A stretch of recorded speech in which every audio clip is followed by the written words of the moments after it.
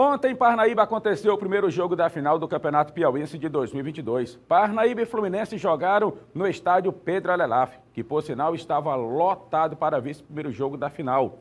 E quem se deu bem foi a equipe do Fluminense, que no segundo tempo, depois de uma pancada do lateral esquerdo Thiaguinho, numa cobrança de falta, venceu pelo placar de 1 a 0. Valdo Souza narrou assim.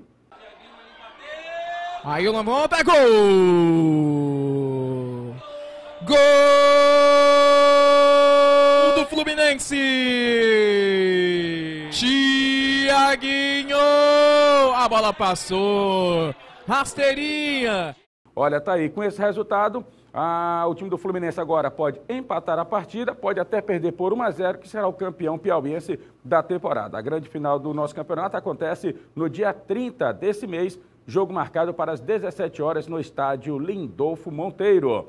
Saindo do futebol piauiense, mas falando de campeonato brasileiro da Série D. A equipe do 4 de julho embarca no final de semana para São Luís, quando vai jogar contra a equipe do Motoclube, jogo, jogo válido pela Série D. O detalhe, o 4 de julho estreou dentro de casa contra o Pacajus, empatou pelo placar de 1 a 1 e vai em busca de uma vitória fora de casa diante da equipe do Motoclube de São Luís. Já o Fluminense vira a chave, deixa o Campeonato Piauiense e agora foca o Campeonato Brasileiro da Série D, a quarta divisão. Fluminense joga em casa no próximo domingo no Lindolfo Monteiro, jogo marcado para as 16 horas. Joga contra a equipe do Tocantinópolis, que pela Copa do Brasil deu trabalho ao time do Atlético Paranaense.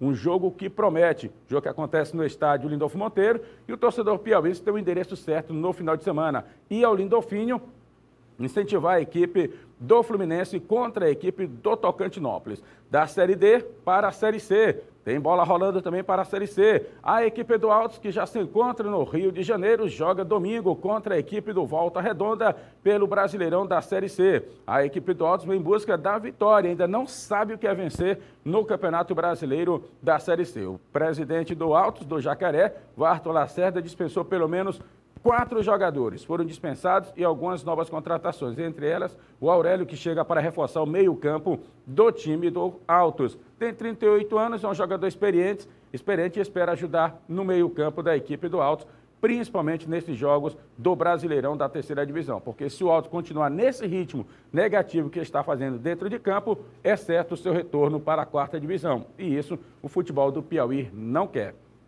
Ainda falando do Altos, só que Copa do Brasil. Ontem, em conversa com o diretor de desportos da Fundesp, o Celso Henrique, ficou certo de que mais um setor será liberado no Estádio Albertão para o torcedor. Nós já temos o setor de arquibancada placar liberado, setor de arquibancada cabines de rádio liberado, cadeiras no anel superior liberado e agora o a geral que fica atrás do gol, aqui no sentido da Gil Martins. E a expectativa de que pelo menos 30 mil lugares estarão sendo liberados para o torcedor piauiense poder acompanhar de perto o jogo entre Altos e Flamengo pela Copa do Brasil. Terceira fase que vale 3 milhões de reais. Na segunda-feira, os laudos serão entregues e na segunda-feira mesmo o torcedor também vai saber o valor do ingresso. Uns estipulam, vai ser 150, vai ser 80, vai ser 50. O presidente do Altos espera deixar um preço legal para que o torcedor possa ter a oportunidade de acompanhar de perto esse jogaço entre Altos e Clube de Regatas Flamengo. Uma dica eu deixo aqui no ar. Você que quer ir ao jogo, no momento que for anunciada a compra de ingressos, compre. Por que, que eu estou falando isso? Porque dá para tirar como termômetro os jogos do Flamengo. Todos os ingressos dos jogos do Flamengo no Brasileirão da Série A estão sendo vendidos ó, em apenas um dia. E o Flamengo está com recorde de, só nesse mês, três rendas superiores às maiores do, do Brasil no momento, porque a venda de ingresso está sendo no instalar de dedo. Então, você que é torcedor piauiense, anunciou a venda de ingresso, compre logo o seu. E aí fica a torcida para o Fluminense brilhar na Série D no próximo domingo, para o 4 de julho brilhar também na Série D no próximo domingo e principalmente a equipe do Alto lá no Rio de Janeiro contra a equipe do Volta Redonda.